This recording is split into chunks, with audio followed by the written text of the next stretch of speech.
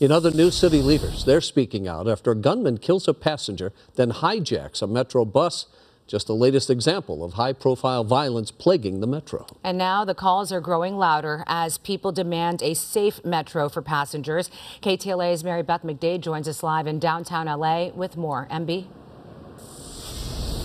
Hi there, Cher and Rick. And we're told that the bus driver has been with Metro for more than a decade now, and he is being hailed as a hero tonight because he somehow managed to drive this bus calmly, safely, and slowly for more than an hour with an armed hijacker on board.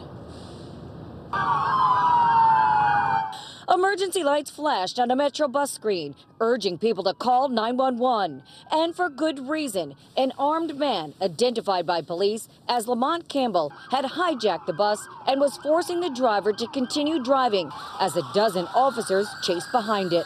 I saw the driver driving for his life. He was being calm. He was being really poised. He wasn't trying to talk to anybody. He just kept going. This man followed the bus on his scooter and captured the slow speed pursuit on his cell phone. It began around 1245 Wednesday morning near Manchester and Figueroa in South LA. The armed passenger apparently boarded the bus, got into an argument with the driver, and shot a passenger seen slumped over a seat. Several other riders managed to escape the bus, except for the injured passenger and another rider. The driver, who was behind a newly installed protective shield, managed to hit the panic button, alerting police. The bus I was fighting for his life, driving for every second counted, you know. So he understood that. We stayed calm though at the same time. Police responded and deployed a spike strip as the bus made its way around downtown LA, flattening a tire. The one flat tire on the left side, it was completely on the rim, dragging, sparks flying, everything like that, smoke, but he was still going. Finally, the bus came to a halt near Alameda and 6th Streets after an hour-long pursuit. SWAT officers also responded to the scene.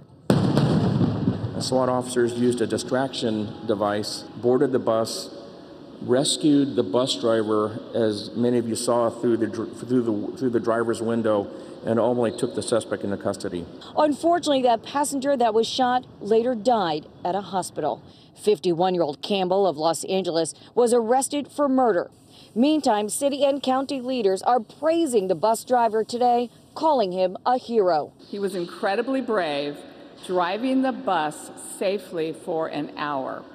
This driver has been with our agency for over a decade. I know all of us are grateful for his courage and quick thinking.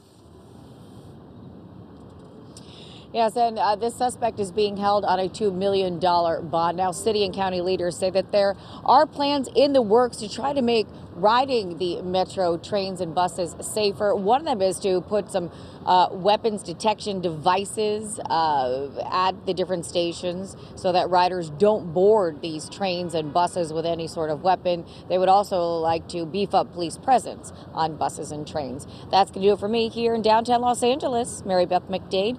We'll send it back to you guys in the studio. All right, MB, we thank you.